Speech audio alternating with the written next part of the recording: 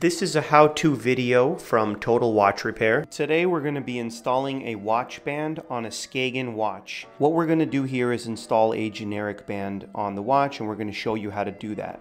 Tools being used are Phillips screwdriver, tweezers, and flathead pliers.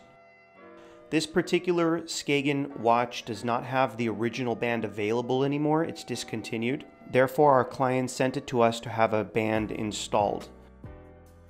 First thing we're going to do is remove the old screws from the original watch and we're going to put those aside.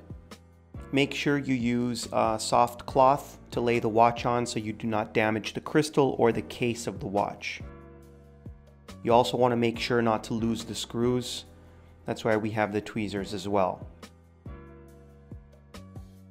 As you can see, Skagen designs their watch bands with uh, holes and screws Unlike your typical standard watch that takes spring bars, therefore only the original typically works on the Skagens. But there is a workaround, there is a way around it. I'm to show you what we do here.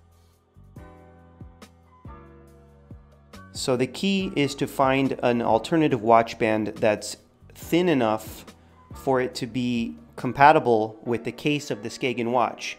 So we took our thinnest uh, watch band that we can find which is one of the bands that we carry here in a size 14 millimeter. We're going to use the pliers to flatten out the tip of the band. As you can see, we're flattening it out as much as possible so that it can slide into the case of the Skagen watch where we can then screw it in. The key is for it to be flat, thin, and secure. This normally this band is uh, takes spring bars, but as you can see, we flattened it out and it fits just right into the side of the case where the screws can then be installed inside. And there we have one side.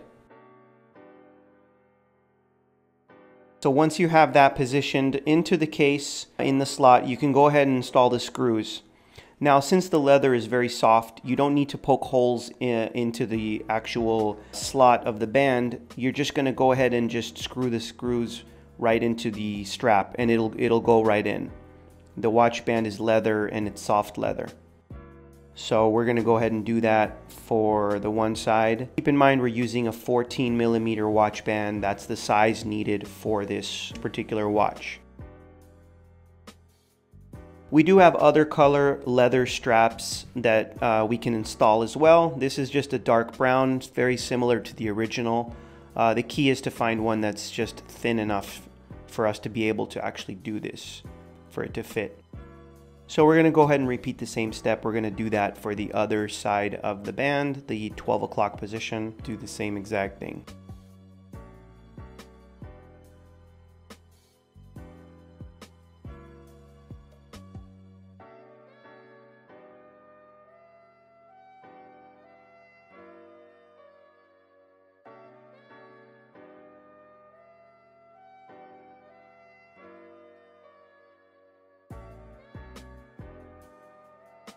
Once the screws are secured on both sides, you then just test the watch by pulling the strap, make sure everything's secure, nothing is loose.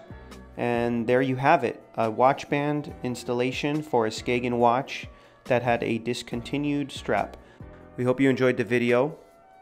You can find us on Facebook and Instagram and our website as well, www.totalwatchrepair.com.